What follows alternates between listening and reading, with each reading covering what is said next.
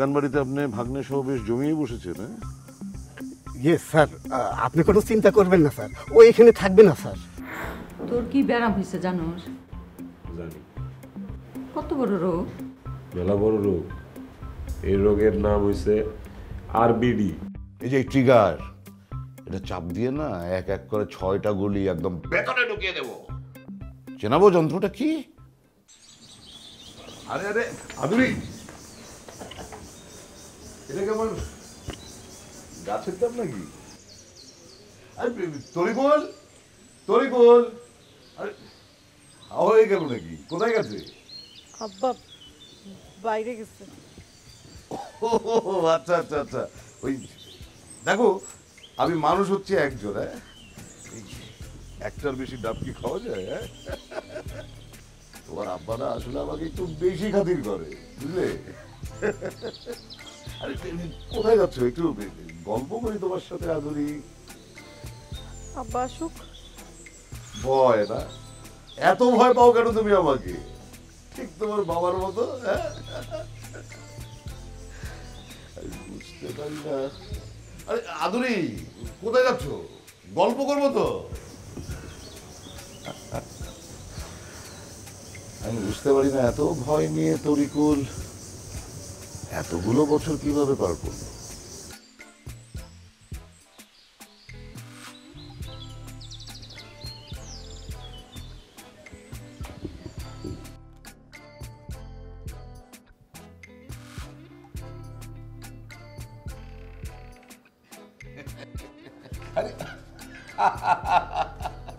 আদুরি, তুমি তোমার বাবার মতো ভয় পেয়েছ আদুরি? ভয় পেও না, ভয় পেও না। তোমার বাবা কি ডায়াবেটিস চেক করিয়েছে? আমার আব্বাসের ডায়াবেটিস আছে আপনারা কে বলব না কেউ বলে নাই আমি এমনি বললাম। এই যেমন ওই তুমি যে অন্যের বাড়িতে পানি আনতে যাও সেটাও তোমাকে কেউ বলেনি। আরে সেদিন আমি নিজের চোখে না দেখলে তো বিশ্বাসই করতাম না হ্যাঁ? আর শোনো তুমি না আর অন্যের বাড়িতে পানি আনতে যেও না তোমার যাবার দরকার নেই। এলাকার ছেলে পেলে ভালো না তো? আরে সেদিন আমার সাথে তো বাজারে ওই মাছ নিয়ে এক লোকের সাথে বাস লেগে গেল। আপনি কি এসব বলতে এখানে আসছেন? হ্যাঁ না তা বলব কেন? শোনেন ওই দিন আমি পানি আনতে যাইতাম না।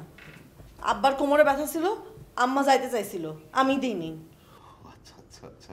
আদুরি ওই যে ওই কি যেন নাম তোমার ওই মামা তো না ফুফাতো ভাইটা? আমি যে পানি আনতে গেছি তাতে আপনার কোনো সমস্যা চাচা? আর তো- তুমি আমাকে চাচা বলছো কেন? তোমার আব্বাকে পাঠাও আব্বাকে পাঠাও তার সাথে কথা বলি। আব্বা ডাব দিয়া ডিসপেন্সারিতে গেছে। আম্মারে নিয়ে গেছে সাথে করে আপনি আসবে জানতো? আর আর দাঁড়িয়ে এসব অদ্ভুত প্রশ্ন করলে তো হবে না। তার সাথে তুমি সামনে আসো ওই দুজনে ডাক খেতে খেতে আমি তোমার প্রশ্নের উত্তর দিয়ে যুক্তি খণ্ডাই কিসের যুক্তি? আপনি সব কি বলতেছেন চাচা? আবার চাচা চাচা। আরে চাচা শুনলে তো আমার নিজেকে চা বিক্রেতা মনে হয় তুমি কেন বোঝো না আদুরি হ্যাঁ? খালি মনে হয় সবাই আমাকে চা চা বলা মানে হচ্ছে চা চাচ্ছে। অথচ আমি তো চাই বানাতে পারি না হ্যাঁ? আমার অফিসে চা বানানোর জন্য একটা পিয়ন আছে হ্যাঁ? তুমি আমাকে আর চাচা বলো। হ্যাঁ, চাচা বলো না কি বলব চাচা আসো না বাইরে আসো ওই তুমি তোমার ওই মোলায়েম হাতে একটা ডাব কেটে দাও আর আমি ওই ডাব খেতে খেতে মোলায়েম ভাবে তোমাকে বলে দেবো আমাকে কি বল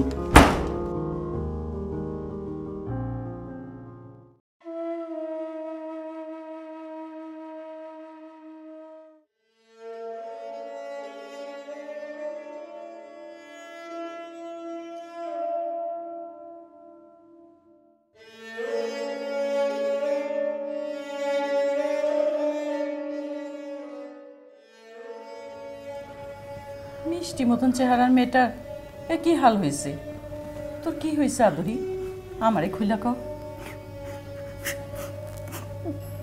আম্মা, সত্যি করে বলো তো আব্বাকে বুড়া লোকটার সাথে আমার বিয়ে ঠিক করে ফেলছে। পাকা কথা দিয়ে দিছে হ্যাঁ?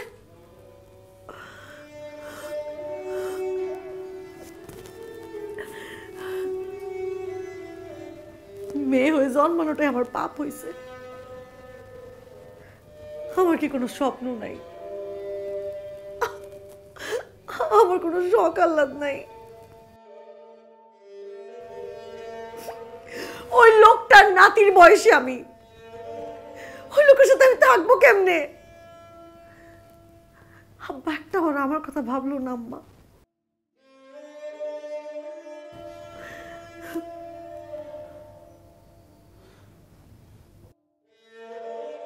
এই তুই এখানে প্রতিদিন আসিস কেন? দিন নাই রাত নাই। এইখানে তোর কিসের আনাগোনা? একদিন এক কথা কইলে হয় না? কিরে মুখে তালা দিছস? কথা কানে যায় না?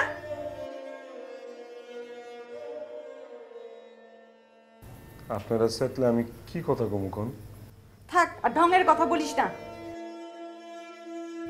তোর বাপ তো আমাদের ফোন করে অস্থির করে ফেলাইতেছে। তোর আশ করা না দিতে।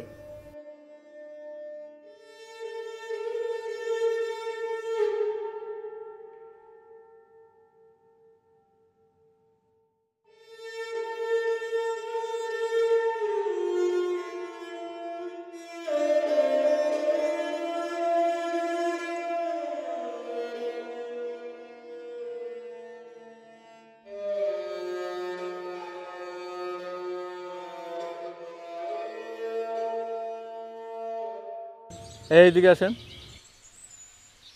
আপনি কে ভাই? সকালেও আপনারা কয়েকবার এই বাড়ির সামনে দেখছি।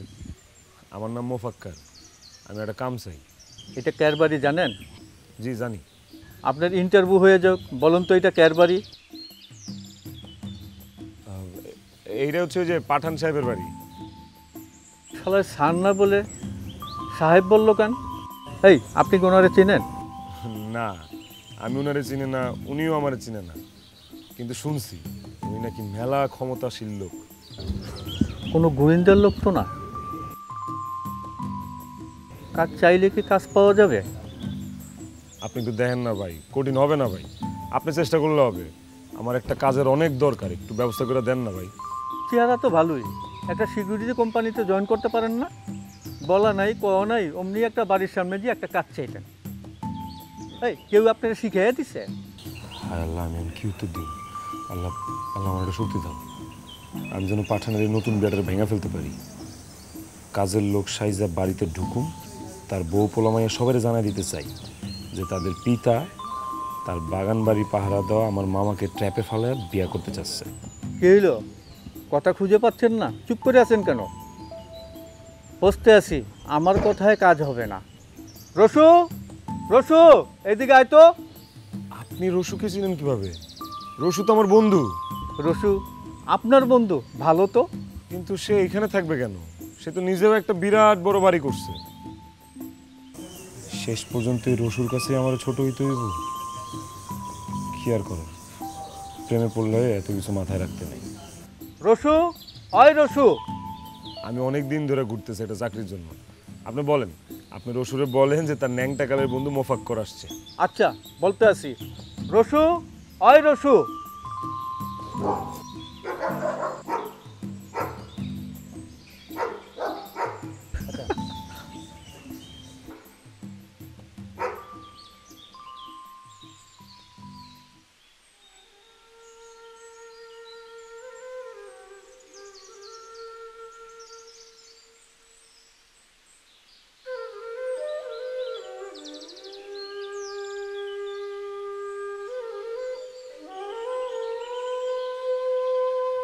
খ্যাপাটের মানে কি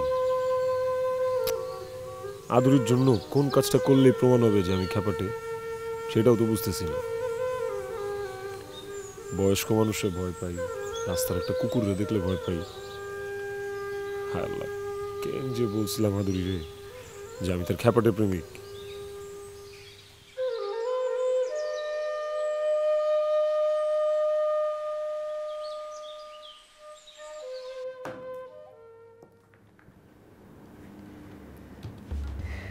ভাবি আপনি তো জানেন আমি মেলা বই পড়ি আর ফাঁক ফকর পাইলেই মেলা বই কিনি। আমি বইয়ের একটা লিখার মধ্যে একটা জিনিস পড়ছি। আমি পড়ছি আত্মহত্যা করা মহাপাপ। ঘুণাক্ষরেও কিন্তু মামি এইসব বাজে কামের মধ্যে যাইবেন না আত্মহত্যার কথা মাথাতেই এনেন না। তুই এসব কি আবল তাবল বলতেছস? আমি তো তোর কথা কিছুই বুঝতেছি না। আরে মামি কেন বুঝতেছেন না? মনে নাই আপনার এই যে গেল শুক্রবার? ওই যে নাদুস টুদুস শক্ত প্যারেটা চলে যাওয়ার পরে আপনি মামার এই- এই আত্মহত্যার কথা বলতেছিলেন না? সেই জন্য কইতেছি। এটি করেন না মামি। তুই কি আমাদের সব কথা কান দিয়ে শুনছস? এইসব কথা কান দিয়ে শুনুন লাগে। এই কথা কাটাকাটি করতেছিলেন তো এইগুলি বাইশে কানের মধ্যে চলে আসছে। মামি আদুরির লোক আমার বিয়া করে দেয় তারপর চলেন আমরা সবাই পালায় যাই। এরপরে ওই বুঝছে আম করে জীবনও খুঁজা পাইব না। কি বললি? তুই কি কইতেছস? তোর তো অনেক সাহস বারবার তো হইছে। না না না মামি এটা আমি আমার জন্য বলতেছি না আমি আপনাদের কথা চিন্তা করে বলতেছি। এই আধুনির সাথে আমার বিয়ার ঘটনাটা যদি একবার রটায় দিতে পারি না এলাকার মধ্যে তাইলে দেখবেন এই সমস্যার সমাধান এমনি হয়ে যাবে।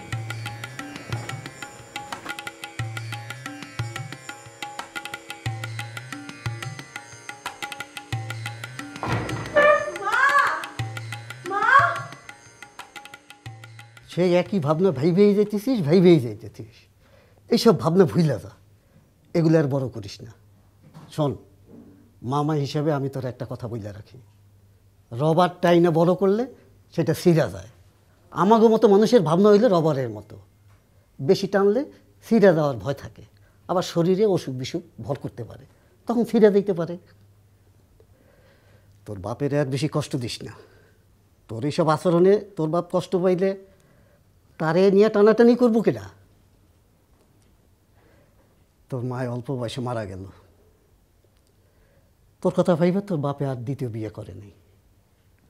তোর যত ভাবনা, দুশ্চিন্তা সব তোরে নিয়ে। তুই আমার বাড়িতে আসস, আমি তোরে কোনোদিন বাধা দিই নাই। কিন্তু তুই যখন বেফাস কথাবার্তা বুঝলে ভালাস তখন তো আমার খুব কষ্ট হয়। তুই আর আমার বাড়িতে কখনো আসিস না। নিজের পায়ে দাঁড়াতে শেখ। পূর্বপুরুষ কি আছিল সেটা ভুলে যা। আমার উপরে আর বোধা হয়ে থাকিস না।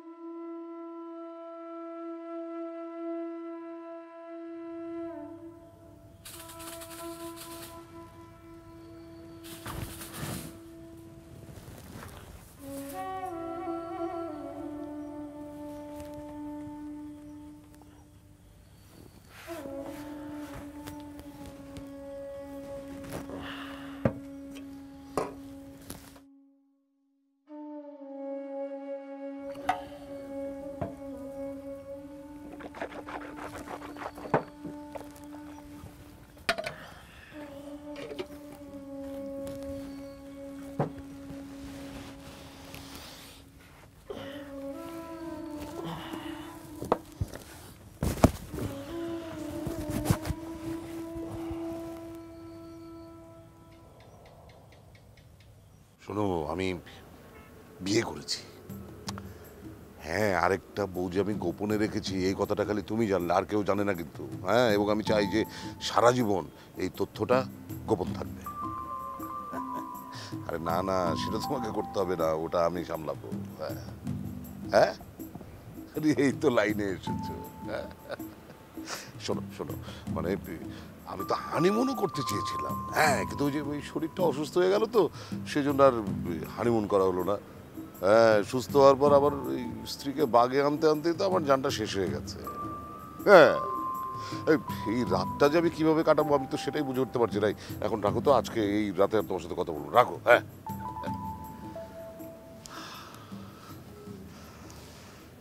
হাদুরি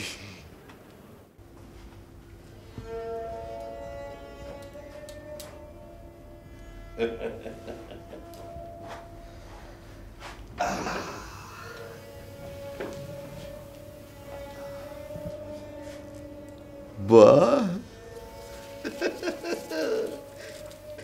কি সুন্দর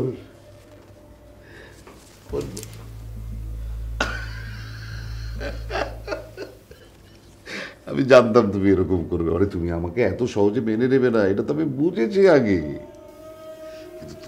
তুমি আমাকে খুব সহজে মেনে নাও। আমরা যেন তাড়াতাড়ি সুন্দর করে আমাদের সংসার শুরু করতে পারি। সেই ব্যবস্থা আমি আগে থেকেই করে রেখেছি। হ্যাঁ এই যে দেখো, কি সুন্দর একটা ছিমছাম বাড়ি আমি তোমার জন্য বানিয়েছি। হ্যাঁ আমারই তেমন কিছু না, বাগান বাড়ি তো এরকমই হবে। কিন্তু তোমার এই হাতের ছোঁয়া পেলে না দেখবে বাড়িটার জরুর আস্তে আস্তে অনেক বেড়ে যাবে। আর শোনো, যদি তোমার কোনো বেকার কিংবা শুদ্ধ চাকরি পাওয়া কারোর সাথে বিয়ে হতো? তাহলে কি হতো? এরকম বাড়ি পেতে? না বড় জোর ওই একটা হাড়ি দুটো থালা আর ওই তোষক ওটা দিয়েই সংসার শুরু করতে হতো। অথচ এখন একটা বাড়ি নিয়েই তুমি সংসার শুরু করছ। আপনি একটা অমানুষ। আপনার অনেক টাকা থাকতে পারে কিন্তু আপনি একটা অমানুষ। আরে আমি অমানুষ হলাম কি করে? আমার অনেক টাকা অনেক টাকা, সেই টাকা দিয়ে আমি সম্পদ করেছি। আমি অমানুষ হব কেন? আর এই সম্পদ করেছি বলেই তো আমার এই জায়গা জমি পাহারা দেবার জন্য তোমার বাবার মতন মানুষকে আমি চাকরি দিয়েছি। সেই চাকরির টাকায় সে তার সংসার চালিয়েছে তো সরি সরি সরি এইসব কথা থাক, পুরনো কথা থাক, পুরনো কথা আমরা ভুলে যাই। আজকে আমাদের বাসর রাত হ্যাঁ? এই রাত তো জীবনে একবারই আসে। শোন শোন তুমি তুমি আমাকে সালাম করো আমাকে সালাম করো স্ত্রী হিসেবে। নয়তো আমি তোমাকে সালাম করব আমি জীবনে আপনাকে সালাম করব না। তাহলে আর কি? আমি সালাম করি। মানে ওই স্ত্রীর পা ধরেও কিন্তু দাম্পত্য জীবন শুরু করা যায় কোনো অসুবিধা নেই এটাই আমার ফিলোসফি দাও তোমার পাটা দাও। আপনি আমার ধরবেন না। কোনোদিনও আমার ছুঁইবেন না।